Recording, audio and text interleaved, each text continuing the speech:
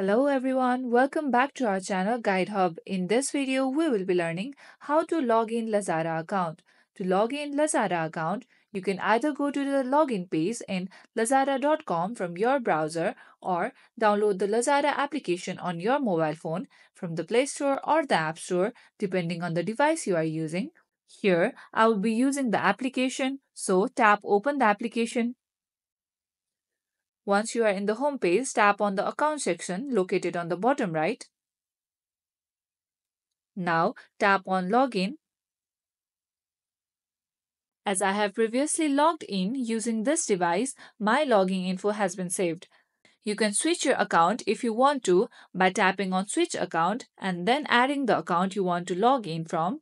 To log in, you have two options that is quick login and other options.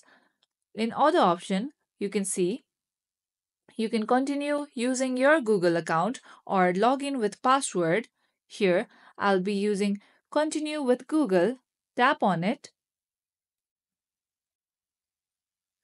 And here you go. You have successfully been logged into your Lazada account. Now, you can enjoy Lazada e-commerce platform that allows users to buy products from variety of sellers. It offers a wide range of products that you can purchase and ship to your location as you preferred. That's it for today's video. Hope you guys find this tutorial helpful. If yes, don't forget to like and subscribe to the channel. Press the bell icon so you never miss out to our videos. Goodbye till then.